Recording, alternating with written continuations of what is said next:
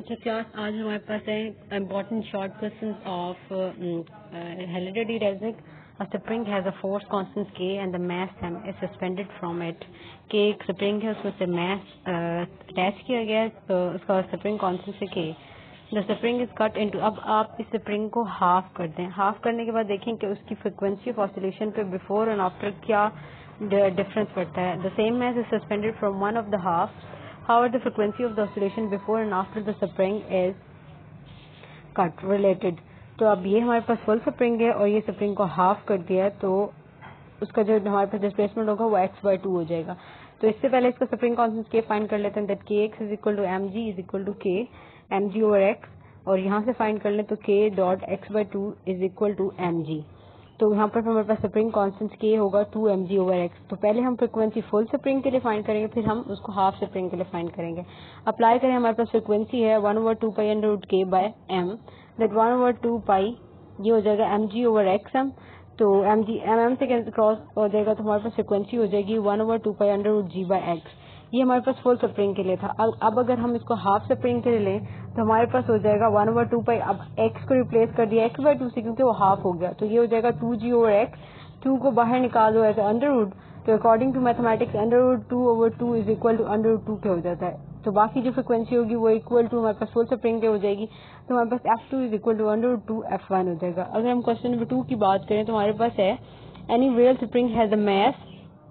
कि एक real spring उसका मैथ एम है। If this mass is taken into account अगर उसको हम यूज़ कर लें explain the qualitatively how this will affect the period of oscillation of a spring mass के ये के पीरियड पे कितना अफेक्ट पड़ता है हमारे पास? Apply the T is equal to two pi under m over k so T हमारे पास डायरेक्टली प्रोपोर्शनल है मैथ के। When mass of the spring is taken into account, कि mass को अगर हम taken into अकाउंट करें तो mass के बढ़ने से हमारे पास टाइम पीरियड ऑफ़ ऑसिलेशन भी बढ़ेगा, क्योंकि एक दूसरे के डायरेक्टली प्रोपोर्शनल है, इसलिए। क्वेश्चन थर्ड है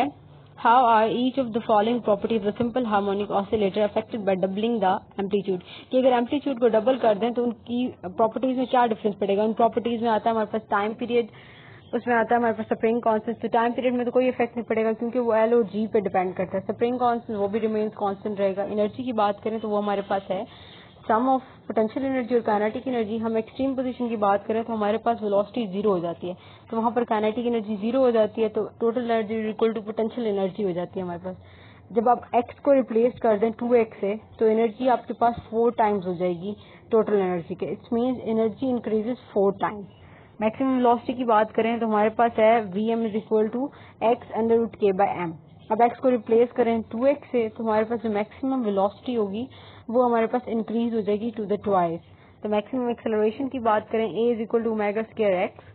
तो ए प्राइम अब यहाँ पर एक्स को रिप्लेस कर दें टू एक्स से तो a prime is equal to हमारे पास हो जाएगा टू ओमेगा स्केयर एक्स यानी कि two a acceleration become double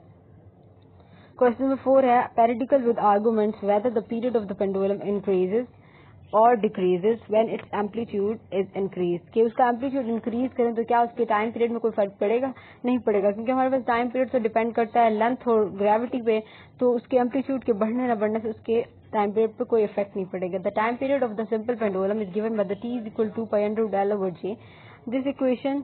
equation shows that the time period t does not change with the change in amplitude of the pendulum. It depends upon the length of the pendulum and the value of the g. Question number five है हमारे पास how can a pendulum be use to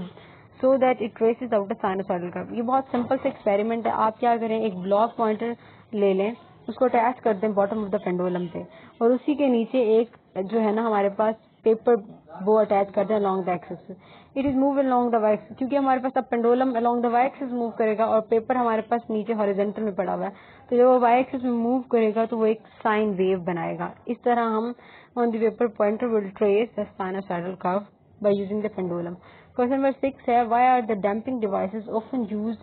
on machinery give an example